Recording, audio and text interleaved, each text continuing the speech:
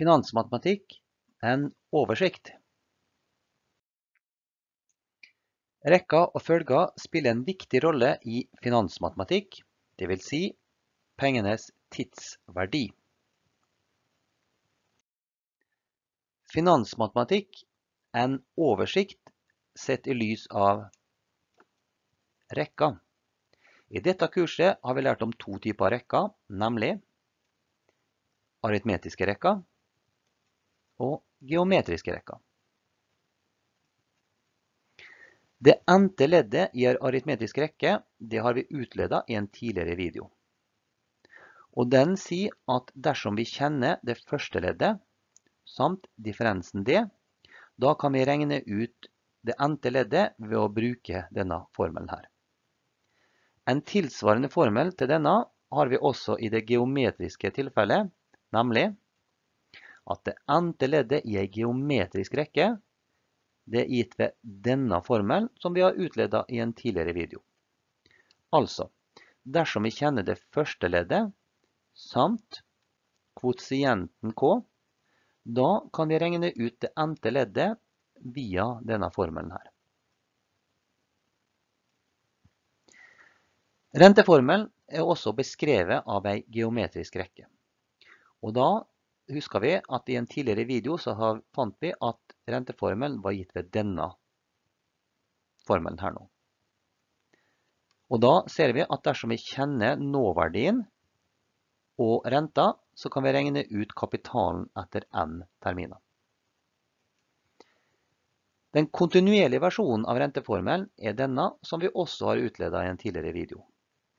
Altså, hvis vi kjenner nåverdien K0 og tidspunktet, så kan vi regne ut da kapitalen ved det senere tidspunktet for det tilfellet når vi har kontinuerlig rente ved å bruke denne formelen. Legg merke til at her har vi en eksponentialfunksjon, mens her har vi en potens.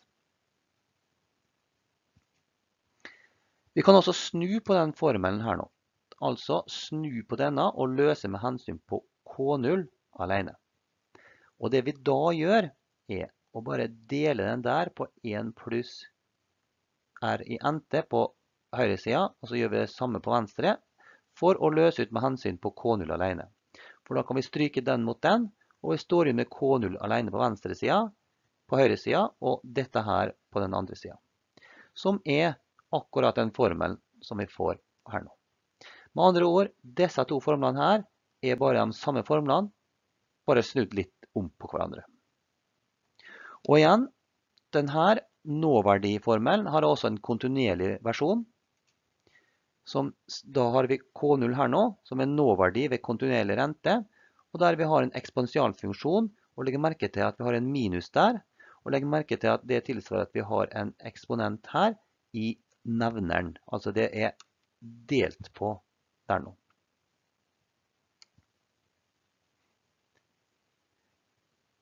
Så la oss gå tilbake til aritmetiske rekker. For da ser vi at når vi snakker om finansmatematikk, så er det sånn at vi har terminbeløp er lik avdrag pluss rente. Det gjelder også for det geometriske tilfellet, når vi har fortsatt terminbeløp er lik avdrag pluss rente. Men her i det geometriske tilfellet så har vi altså terminbeløpet som er konstant, og da har vi en situasjon som er beskrevet av en geometrisk rekke. Mens her så har vi altså avdraget som er konstant, og da er situasjonen beskrevet av en aritmetisk følge. Og da, når avdraget er konstant, altså denne er konstant, da er det det vi kaller et serielån.